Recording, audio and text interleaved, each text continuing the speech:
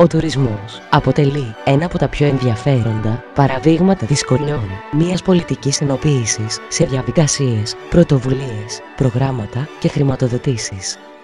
Χρειαζόμαστε μια ουσιαστική διαδικασία με σαφή πολιτικά χαρακτηριστικά και αποφάσεις θεσμικής αναβάθμισης του τομέα.